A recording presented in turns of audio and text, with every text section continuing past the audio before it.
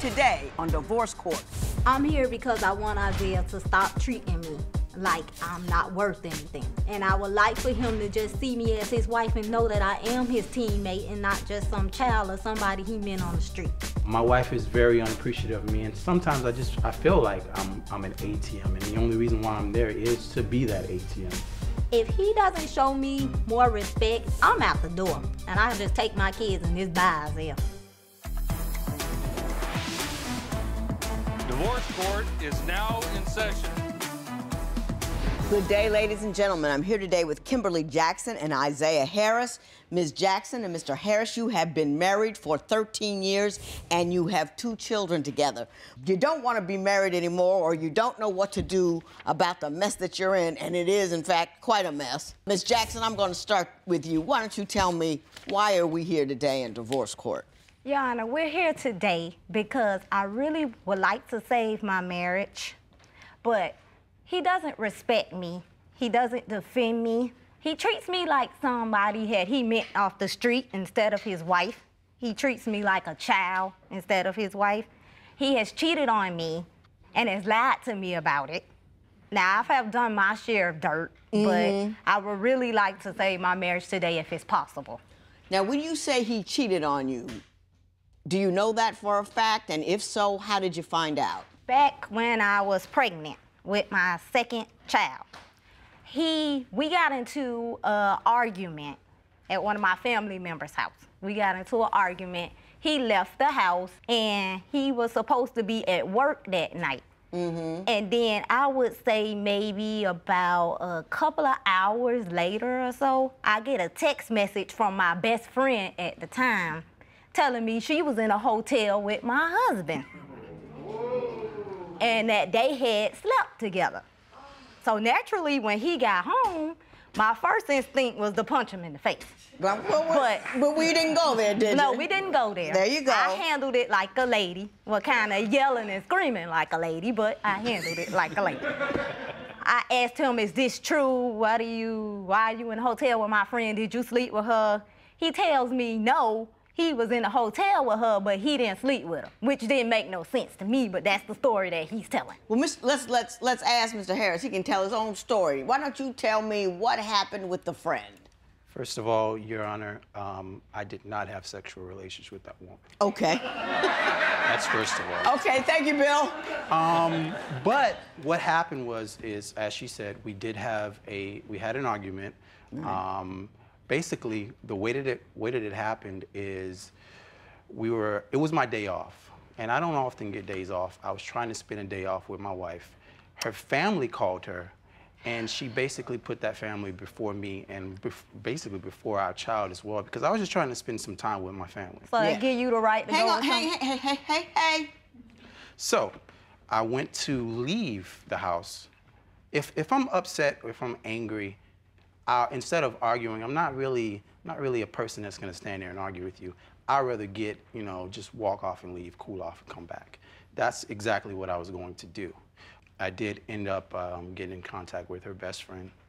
We did not have uh, any type of sexual relation, no. Well, what did we, the two of you do? Did you hook up? Did you have yeah, dinner? What, what we, happened? We did, um, we ended up hooking up and uh, we went to a hotel that did happen. Now, what was the purpose of hooking up and going to a hotel if it wasn't to have sex? It it started out that way. I'm not gonna lie. Um, but there was a couple reasons why it didn't happen. One, my conscience didn't let it happen.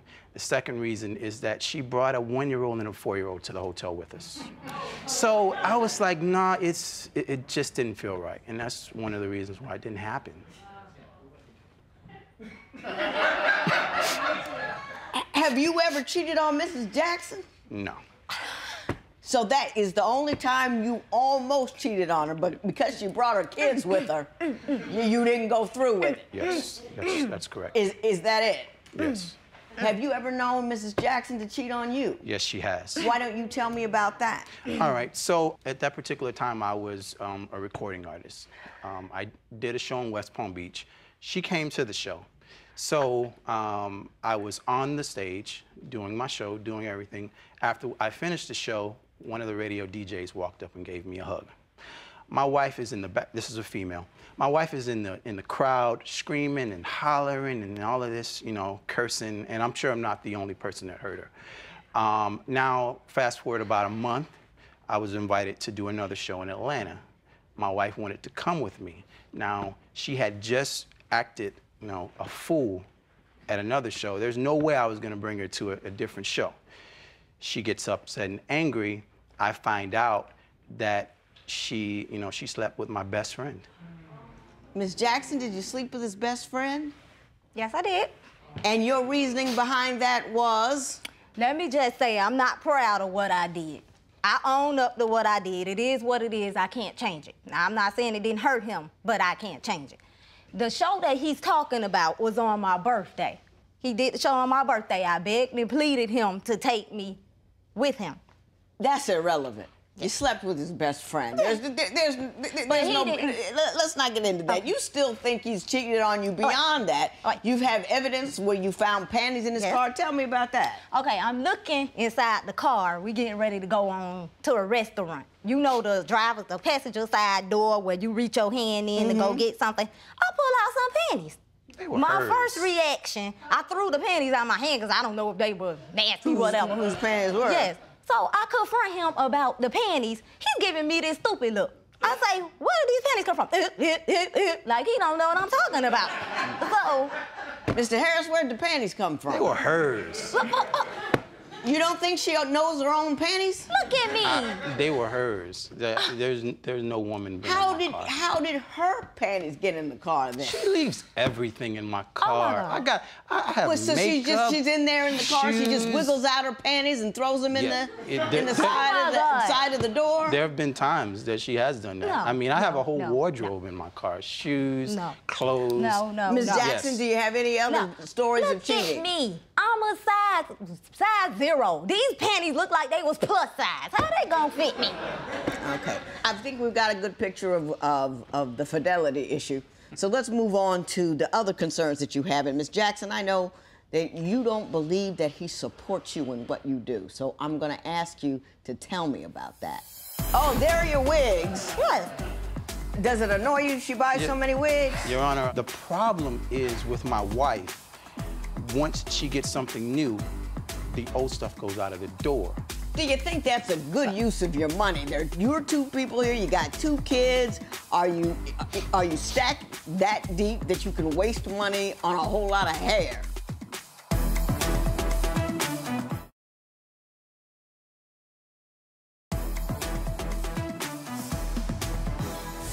So, Ms. Ms. Jackson, you say you had aspirations to become a model, but he was less than supportive about that. Why don't you tell me what went on? Okay, they called me to be a model, an agency. So I'm all excited about it. I'm like, okay, they want me to be a model. He looks at me and tells me, why would they want you? And I'm like, what do you mean? I'm not ugly. I just don't think you got what it takes to be a model. Why would you say that to me? Did you say that to him? I've never told her anything of that nature. In fact, when she went to to do this modeling um, situation, I was the person that took her there. I'm the person that made sure that she looked good when she was going there. So how can I not support something when I'm doing everything that's necessary? So you say she's just made that up out of whole cloth, that she just that doesn't make telling me a story Yes. to make you look bad. Yeah, Wow. in a sense. Okay. In a sense. Yeah, I've, I've never not supported anything that she's done. But at the same time, my wife does start a lot of things and she doesn't finish them. So if she gets ready to go and, and do something different, then of course I'm going to Well, what to. What kind of things has he started and not finished? Well, m- my wife has, you know, she's, she was going to be a nurse. She started that. She didn't finish it. She was going to do medical coding and billing. She started that. She didn't finish that. She was doing some other classes. She she hasn't she has no problem starting something. but- Something, but can't finish it. Exactly. Can- can- can- So- do you have no follow through? Not true. The seeing the my uh, nursing thing he was talking about.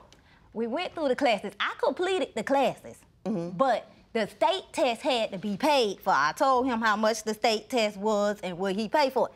Why should I pay that for you? What you gonna do for me? I'd been out there at any job I could get and get my little nickels and dime together and pay for my own test. That's what I would do.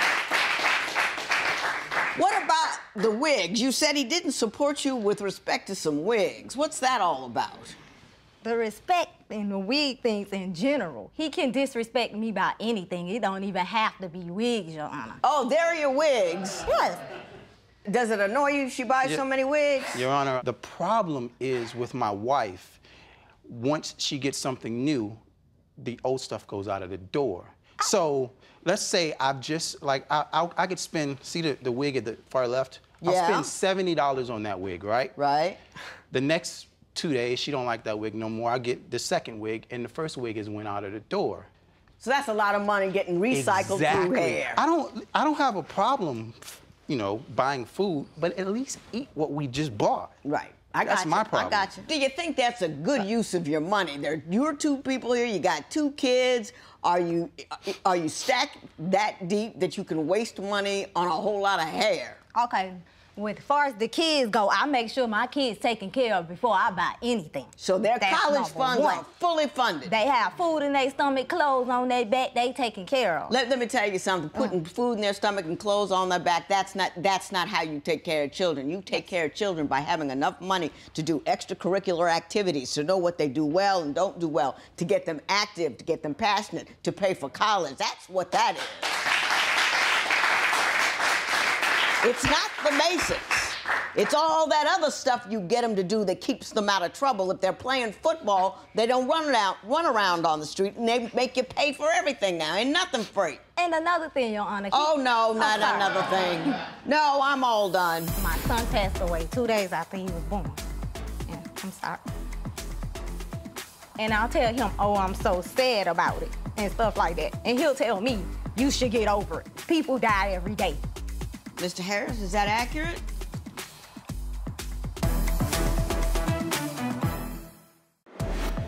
Do you believe Isaiah slept with Kimberly's friend or just hooked up with her? Tell us what you think at facebook.com slash divorce court.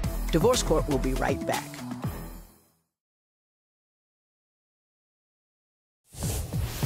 If you would like your case to be heard on Divorce Court, call us toll free at 1 877 311 2222 or log on to our website at divorcecourt.com. Follow us on Facebook, Twitter, and Instagram at Divorce Court.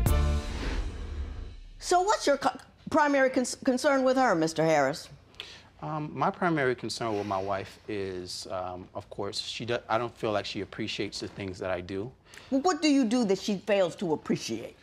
Just working, making sure everything is taken care of. I feel like she takes those things for granted. Do you have a job? No, I don't. I had a job, Your Honor, but I have sickle cell anemia. I got very, very sick. And it was his idea for me to leave the job because I couldn't even walk. He tells me, you can leave the job, I'll make sure everything is taken care of. I couldn't even walk, I couldn't do anything at the time when I was sick. Okay, I got that. Wh- How uh-huh. is she failing to appreciate what you do? Doesn't she cook and clean and all that? Or All right. doesn't she? I, I call it her four for five rule. Let's say she wants me to do five things for her. Let's say she wants me to get her hair done, get her nails done, buy her outfit, buy her dinner, and buy something for the dog, buy a bed for the dog. If I miss one of those things, I'm the worst person in the world. Don't touch me, don't talk to me, don't come near me. I asked you for this and you didn't do it, you're horrible. Do you do that? Do you not appreciate what he does do for you and, and look I past I appreciate everything he do for me. That is what he's true. saying when I say don't touch me, don't come near me. If somebody comes home after work, which I can understand, he works hard and stuff like that. He takes everything out on me. He can be on the computer typing, and I would say something to him, and I say, "Did you hear me? Yeah, I heard you."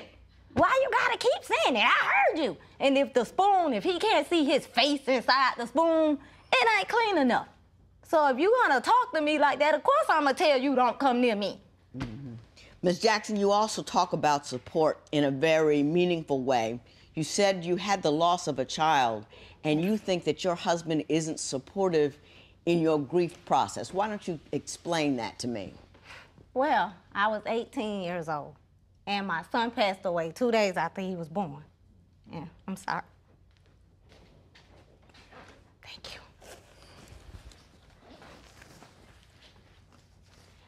He passed away two days after he was born, and that happened long before I even met him. Mm-hmm. And he was born on September 11th.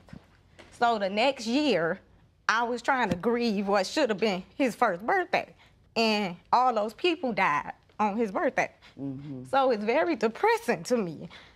And now, today, even then on that day, I try not to watch the news because mm-hmm. I don't want to hear about that day. Right. And I'll tell him, oh, I'm so sad about it and stuff like that. And he'll tell me, you should get over it. People die every day. Mr. Harris, is that accurate?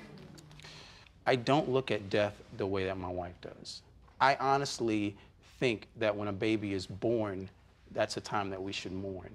And when a death happens, that's the time that we actually should be happy. You can so leave all that medical, little, metaphysical so nonsense alone. Let me tell you something about being a human being. If you're married to a human being, what you have to do is deal with that human being's feelings. So whatever your philosophy is, is, is irrelevant to her feelings. And she has a right to her feelings. You married her. You said you loved her and you were going to honor her and you're going to care for her. One day a year, she needs you to be a man and, and, and let her be sad on your shoulder, and you can't show up and do that. No, no kind of met- metaphysical theory makes that okay. That just makes you tired. That makes you a silly little person who doesn't have enough ability to look at somebody else's needs and fill them simply because you don't share them. That's enough of that. What do you think's creating the tension in Kim and Isaiah's 13 year marriage? Share your opinion on Twitter and Instagram at Divorce Court. Divorce Court will be right back.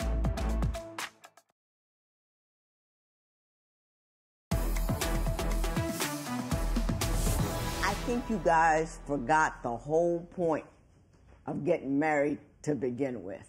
And I think you guys have gotten so focused on getting what you want that you don't do anything to feed the marriage.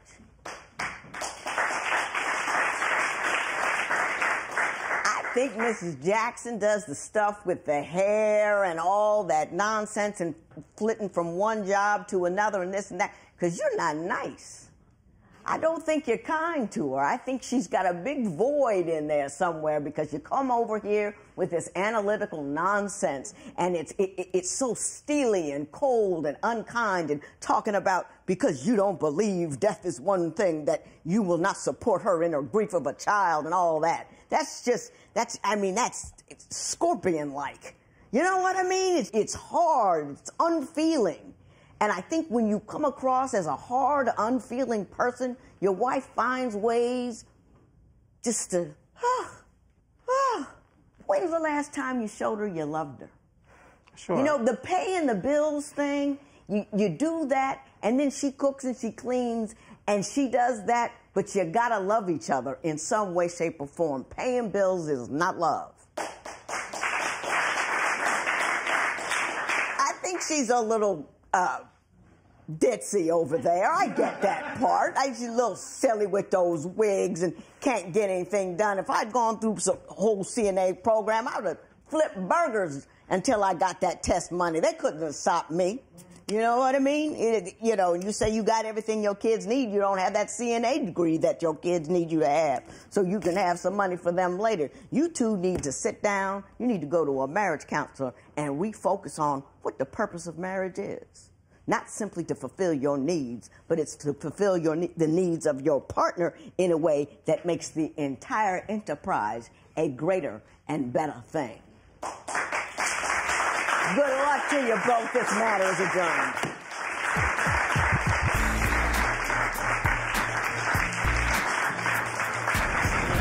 The judge told me that I needed to be more considerate to my wife, and I think I just need to remember that my feelings aren't the only feelings that matter. I think that we can really save our marriage if we really put the effort to, and I don't want to flush 14 years down the drain. There's always hope for somebody, and I think it's hope for us.